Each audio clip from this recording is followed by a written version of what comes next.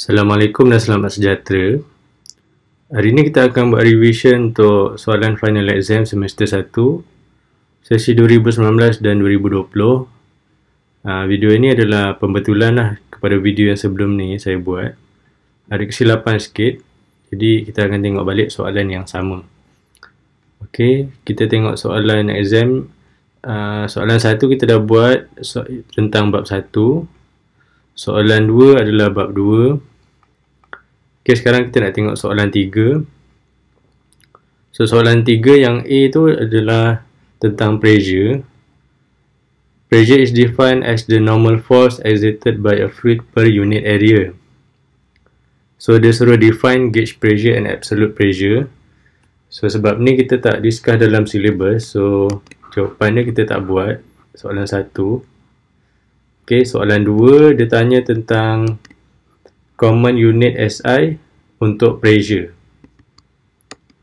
Uh, jadi kita ada banyak lah okay, yang common kita akan guna ATM, atmospheric pressure. Kemudian kita ada Pascal. So Pascal ni kalau kita nak guna dalam Newton per meter kuasa 2 pun boleh. So ini adalah unit juga. Kemudian kita ada PSI. PSI adalah pound per square inch. Dan last sekali adalah millimeter HG. Okay, so dalam kes ni yang paling common adalah tiga ni lah. ATM, Pascal, Newton per meter square. Kemudian soalan B orifice and venturimeter are two common flow rate measurement equipment for liquid. So we have to compare the size and cost between orifice and venturimeter. So empat markah di situ. So yang pertama kita akan cerita tentang dia punya size So kita tahu Venturi ni dia ada section untuk converging dengan diverging area. Dia besar sikit eh. So Venturi bentuk dia macam ni lah. Dia panjang sikit. So dia punya size tu besar. Okay, it has a large size due to large, section of converging and diverging area. So converging dekat sini eh.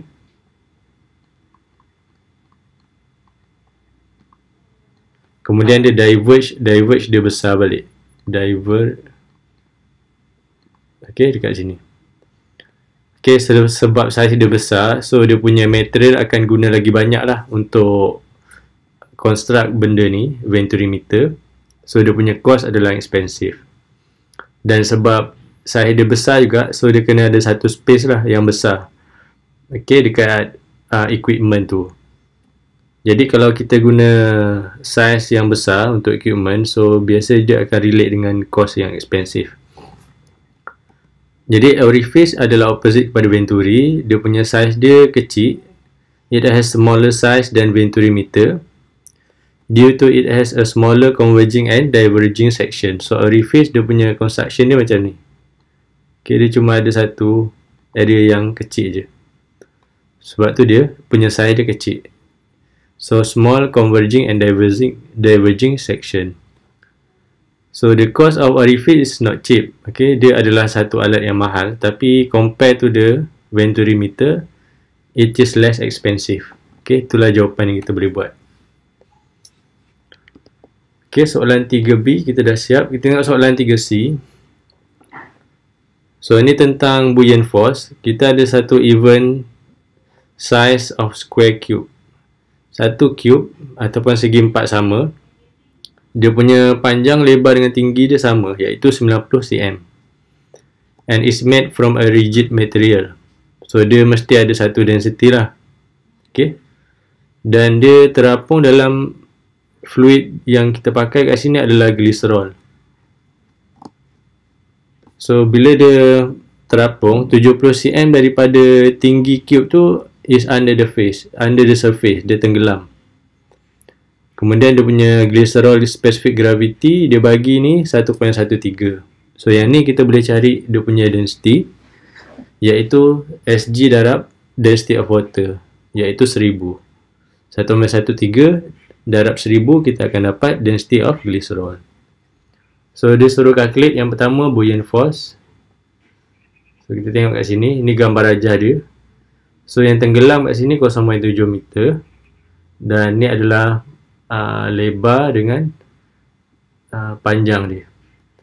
So kita kira volume of object yang tenggelam kat sini 0.9 darab 0.9 darab 0.7 iaitu 0.567 meter cos 3. So buoyant force yang pertama density of fluid. Density of fluid ni adalah dia punya SG okay, darab density of water.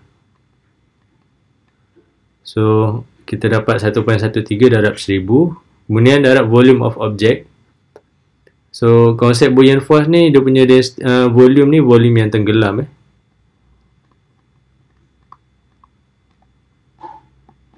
So dia adalah submerged volume. Sorry.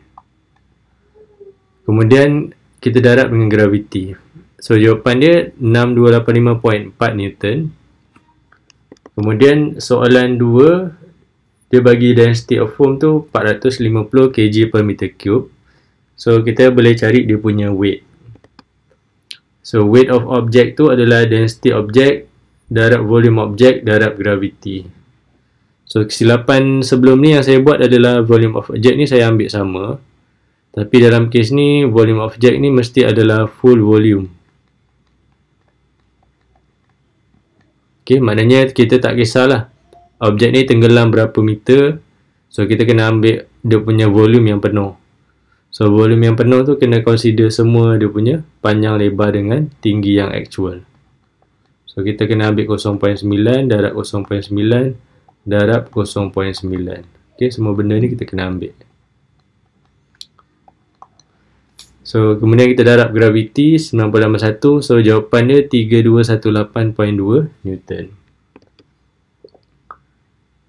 Lepas tu soalan ketiga dia suruh calculate magnitude and direction of the net force experienced by the foam when it completely submerged in the glycerol.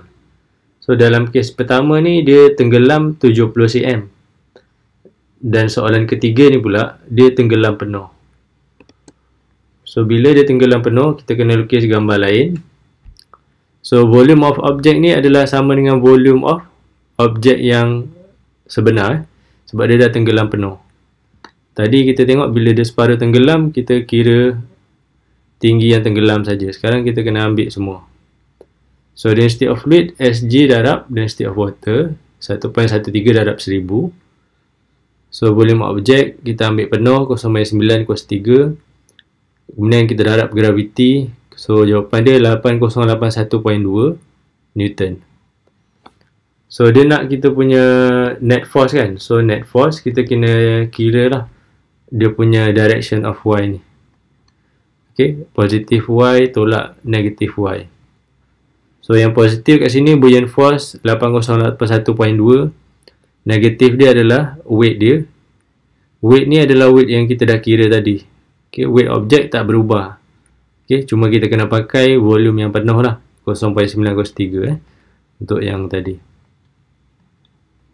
sampai 9 cos 3 so dia punya weight masih 3218.2 Newton so bila kita tolak dia punya net force dia adalah positif 4863.4863 Newton upward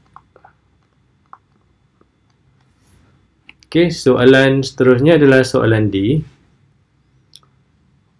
ini adalah case uh, uh, rigid body motion So kita ada satu tangki air 1.3 meter dia punya water dalam tangki tu.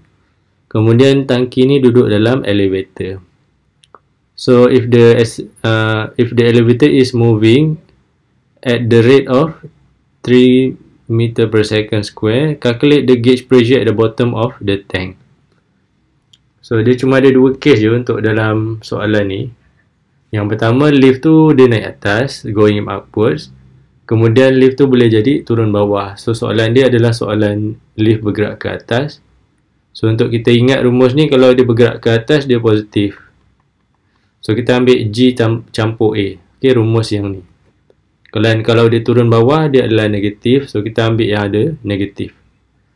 So rumus tak perlu ingat. Nanti biasa dalam soalan saya akan bagi rumus yang berkaitan dengan soalan sahaja. Okay. So kita dah ada acceleration of lift, kita dah ada height of water, so kita boleh masukkan lah dalam rumus. So density 1000, height 1.3, gravity 9.81, acceleration dia adalah 3. So bila kita kira, kita akan dapat jawapan SI unit iaitu Pascal 16653. So untuk mudahkan kita punya uh, jawapan, so kita boleh ringkaskan lagi, kita boleh buat titik perpuluhan ni kita ke belakang 3 ataupun bagi dengan 1000 ok so 1000 pascal sama dengan 1 kilo pascal ok so bila kita bundakan jadi 16.7 kilo pascal